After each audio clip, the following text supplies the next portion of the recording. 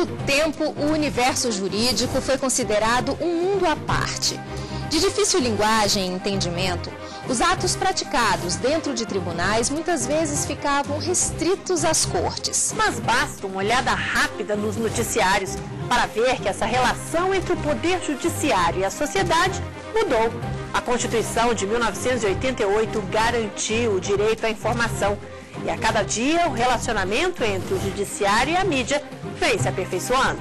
Jornalistas especialistas em direito, repórteres setoristas nos tribunais, revistas especializadas. O Judiciário é notícia e nós vamos saber por quê no Repórter Justiça que está começando agora.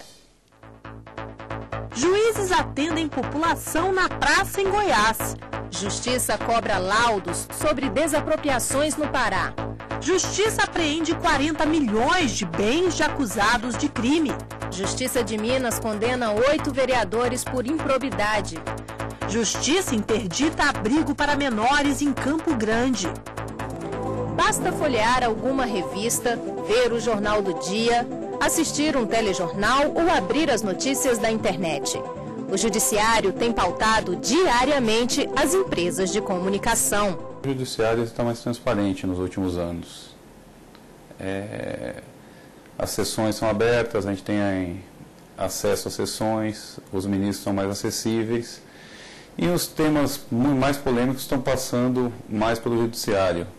Acho que um pouco por, pela função do Judiciário mesmo e um pouco também pela falha do Legislativo, que está deixando de legislar sobre temas importantes.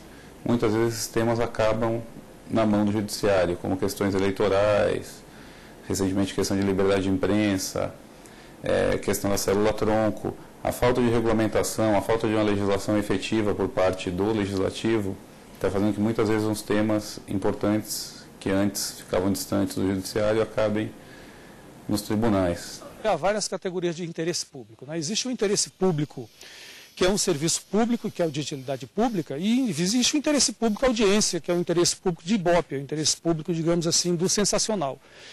Esse interesse público sensacional ele não permeia o judiciário. Então eu diria que o judiciário é a casa onde predomina o interesse público de fato, que é o interesse público jurídico, o interesse público legal. Agora ele precisa, como eu disse, ser traduzido. A jornalista Mônica Bergamo, com 24 anos de profissão, tem uma coluna no jornal Folha de São Paulo. Ela considera o Supremo Tribunal Federal um exemplo para as demais instâncias da justiça, pela transparência e bom relacionamento com a imprensa. Eu me recordo quando eu morei em Brasília, lá pela década de 90, eh, e um ministro eh, que hoje é decano do Supremo, o ministro Celso de Mello, ele era considerado assim um professor da sucursal praticamente. Todas as semanas, qualquer matéria, qualquer nota, qualquer linha, eh, ah não, precisamos consultar o ministro Celso de Mello, e ele atendia a todos, jamais antecipou seu voto, jamais quebrou as regras eh, ali que existem eh, no judiciário, na questão dos julgamentos, mas ele dava uma aula do que estava em jogo ali, juridicamente, do ponto de vista jurídico. Isso é fundamental para nós, né? Porque o que você quer não é só você falar com o ministro, você quer informar direito. A pessoa que vai ler, ela vai ler uma, uma informação com muita precisão. É, então, eu acho super importante, pra, do ponto de vista do jornalista, então eu, do leitor, que vai ter acesso à informação de primeira e, e muito precisa. Nas cortes, além de juízes, advogados e promotores, repórteres. Eles fazem plantão nas portas dos tribunais, acompanham os julgamentos e, em tempo real, mantêm as redações atualizadas sobre tudo o que acontece.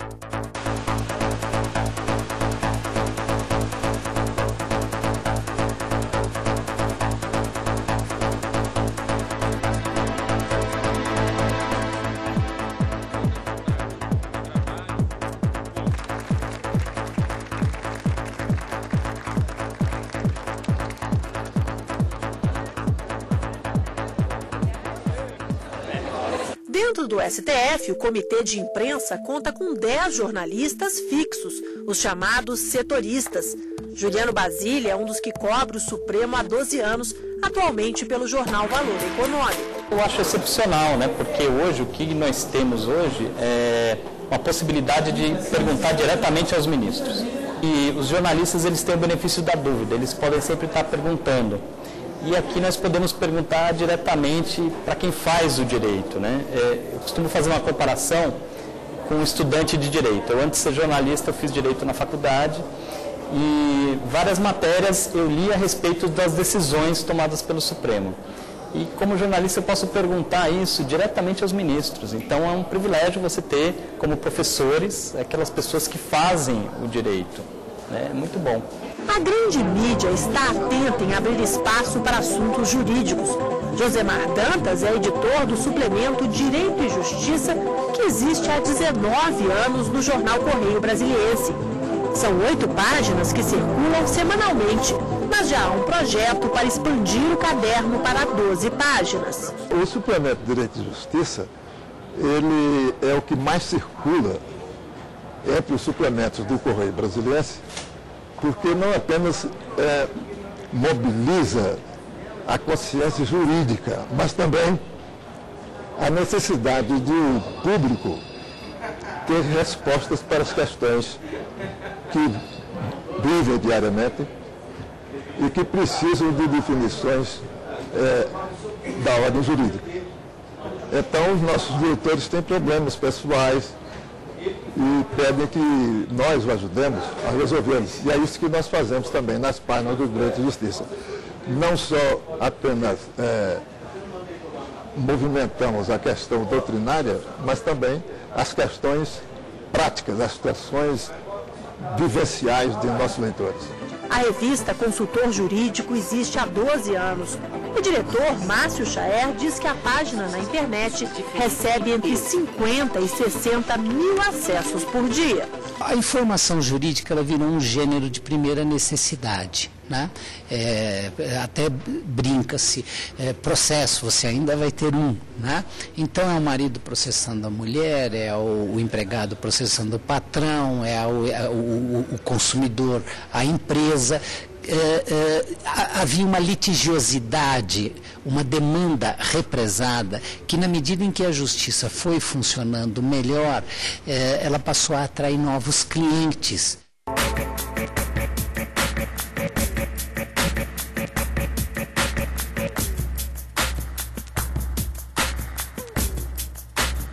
No próximo bloco, você vai ver que o Judiciário também mudou a forma de se relacionar com os meios de comunicação.